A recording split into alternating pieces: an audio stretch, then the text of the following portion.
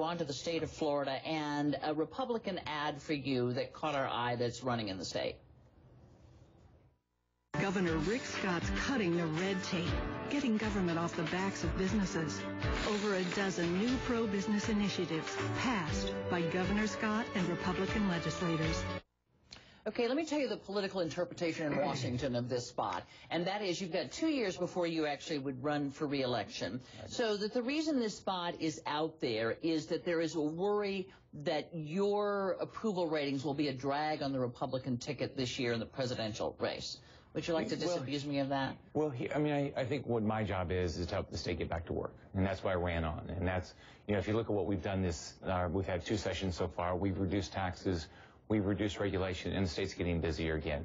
You know, clearly, you know, you know, whoever wins uh, this fall in all races, whether it's the presidential race in Florida or in our other races, uh, all of our House and Senate is up, is going to depend on a lot about how they perceive the governor and how they perceive what that that adds for talks about what we've done and the Florida Republican Florida legislature because we have majority involved. Why do you run? Why did you run that ad? Well, to get our message out. I mean, we we have unemployment's dropped considerably. We're at a three-year low.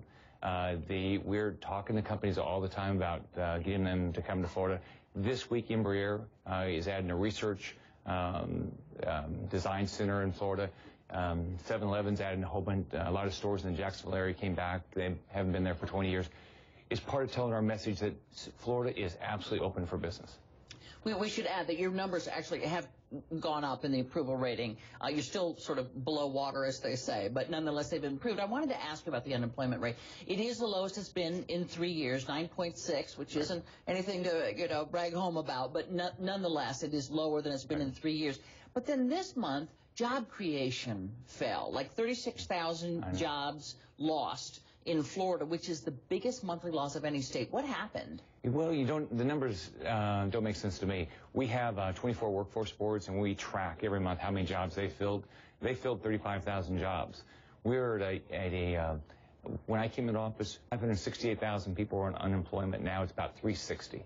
So we're making progress every month. So I, I know, I never, those numbers, we dropped three tenths of one percent unemployment that month and lost jobs. So I'm not, I'm not Haven't sure. figured that out no. yet. But but you know, I assume that it, you know February will be different, and we'll see what happens over the year because years because we had a great 2011.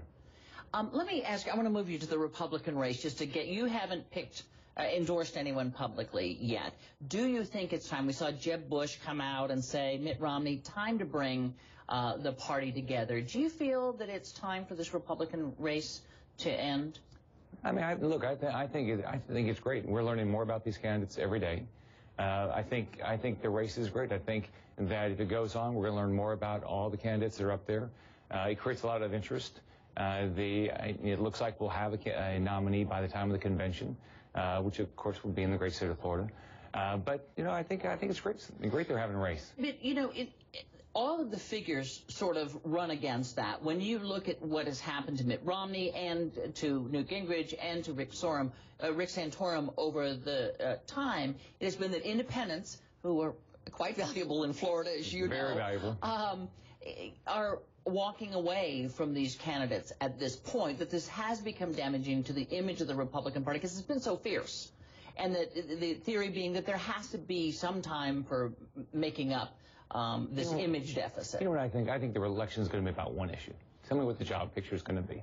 Whoever's got, whoever has a plan that the American public believes is going to. I won my race because they had believed I had a jobs plan. That's that's why I run. I won. That's who's going to win this fall. Whoever has a. In when you go to the ballot, you're going to say, who's going to make sure that there's a greater chance I'm going to have a job next year. That's that's who's going to win. And I believe I believe the Republican nominee will be that. But you know, whoever that's what they're going to have to do. I'm glad that now they're talking about jobs. I don't think they talked about jobs enough in the early primaries. There was a lot of other issues.